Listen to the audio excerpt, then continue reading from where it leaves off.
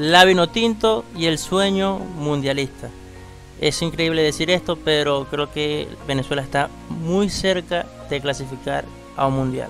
En estos momentos se encuentra en cuarta posición con 7 puntos, empatados en puntos tanto con Uruguay y con la mismísima Brasil. Es increíble ver a la en esta posición y quiero confesar algo.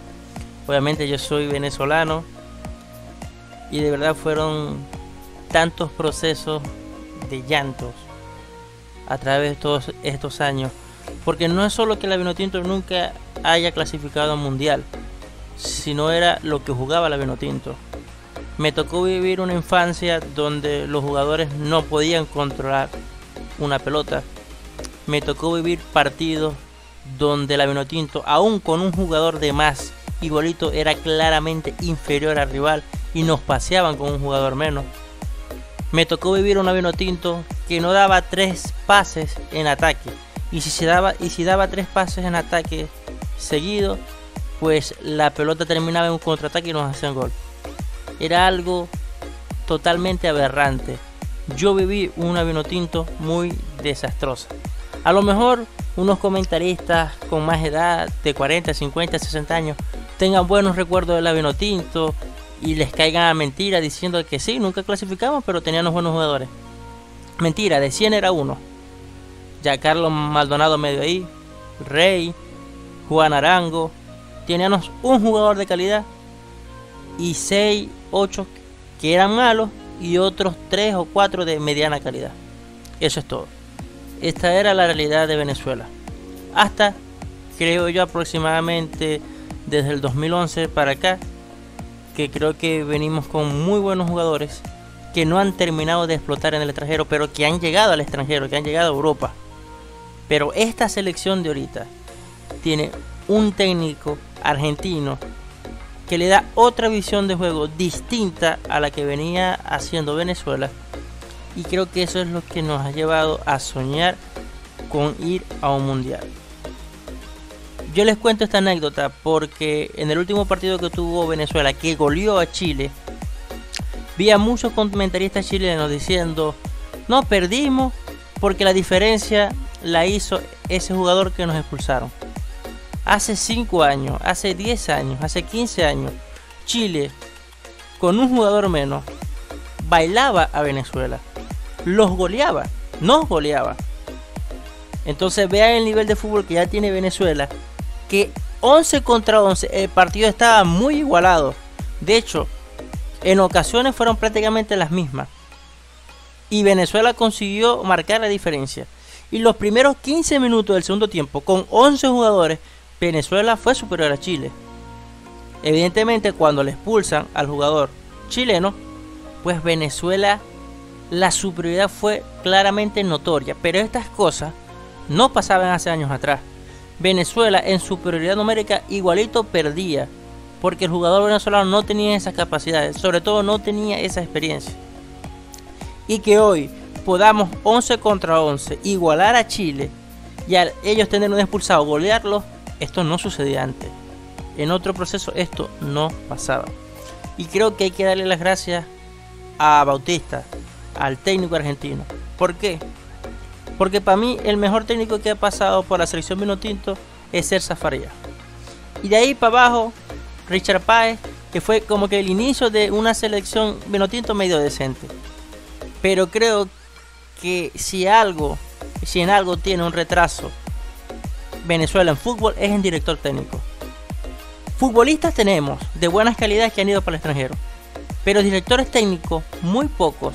El único ha sido César Faría. Ese es el principal problema que ha tenido la Vinotinto.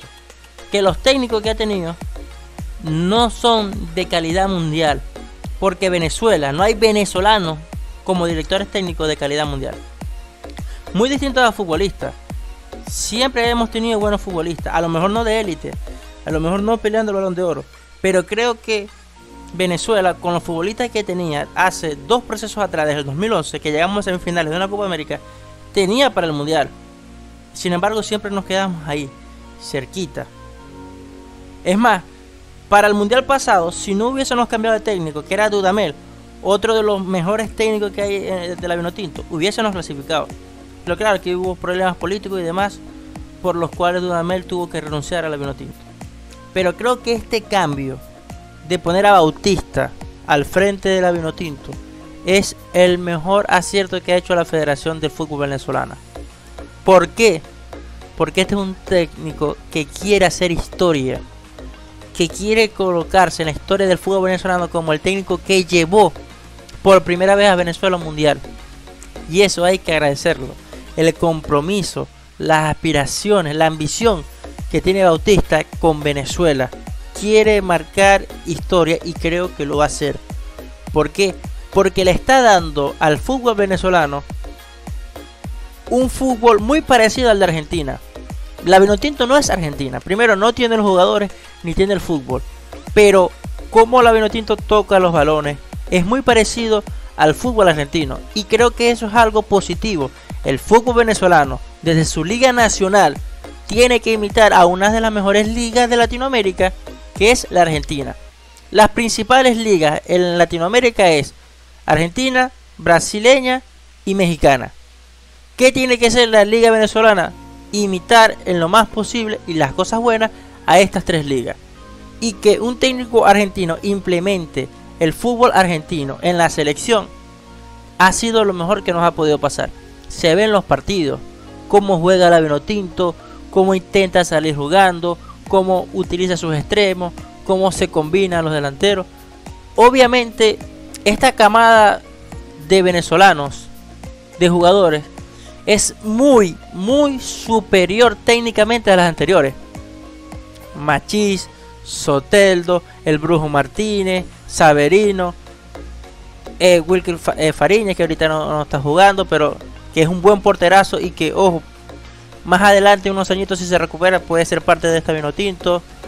Este González, Tomás Rincón, que ya está viviendo su último proceso. En verdad, la Venotinto tiene una excelente camada de jugadores. Que ojo, yo estoy confiado en que vamos a llegar al mundial. Y si, no, si la Venotinto llega a pasar al mundial, vamos a clasificar de fase de grupo. Nosotros no vamos a llegar al mundial a perder los tres partidos a hacer el ridículo. Creo que si esta Vinotinto está para clasificar al mundial, está para hacer historia en el mundial. Mínimo octavos de finales. Mínimo. Lo veo así. Veo un equipo muy comprometido. Veo un equipo que se están portando como profesionales. Porque eso es otra cosa del fútbol venezolano, de los jugadores venezolanos. Llegan a un equipo en Europa o a un equipo en el extranjero y ellos ya se creen Cristiano Ronaldo y Messi juntos. A fiestas, además, a los brasileños. El jugador venezolano no es el jugador brasileño. Imitar esa conducta extradeportiva lo único que te va a ocasionar es problemas. Y que no saques tu potencial y que no pases un equipo grande. Como han pasado con muchísimos jugadores, como es el caso de Peñaranda, que tiene mojones mentales, que llegó a ser el jugador más joven en marcar un doblete en la liga española, quebrantando el récord de Messi, que llegó a ser uno de los mejores jugadores sub-17 comparado con Valverde y Valverde está en el Real Madrid y Peñaranda en un equipo quién sabe a dónde. ¿Por qué? Por tener esos mojones mentales de creerse una gran estrella. El jugador venezolano no se puede creer una gran estrella. Tiene que luchar y afanzarse en grandes equipos. Y después de eso, quizás, si en verdad quieres ayudar a tu selección a que llegue un mundial, tienes que tener los pies sobre la tierra. Entonces, ¿qué opino yo sobre eh, esta vino tinto y estas eh, preliminares? Creo que la vamos a pasar. Creo que estas eliminatorias están hechas para que la Venezuela de Bautista clasifique por primera vez al Mundial. Fíjense, estamos cuarto pero empatados a puntos con el tercero y con el segundo. El próximo partido que va a ser contra Ecuador es de vida o muerte. Ya haré un análisis de ese partido. Mientras tanto, creo que el sueño está vivo y tengo mis esperanzas a que vamos a llegar al mundial. Así que nada, quería hacer este pequeño análisis, de desahogo, de todo aquí. Porque de verdad es un tema que toca todas las fibras del cuerpo. Y vamos, vamos por más. Creo que la vino está para hacer grandes cosas. Y creo que este es el mundial. La Vinotinto al mundial del 2026. Amén.